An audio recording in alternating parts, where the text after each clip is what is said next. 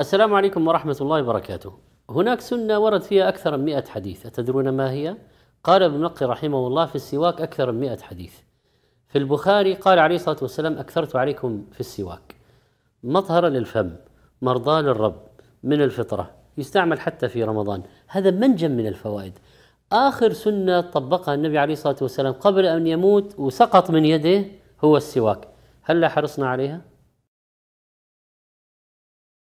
السلام عليكم ورحمة الله وبركاته. هناك سنة ورد فيها أكثر من مئة حديث. أتدرون ما هي؟ قال ابن نقي رحمه الله في السواك أكثر من مئة حديث. في البخاري قال عليه الصلاة والسلام أكثرت عليكم في السواك. مطهرة للفم مرضاة للرب من الفطرة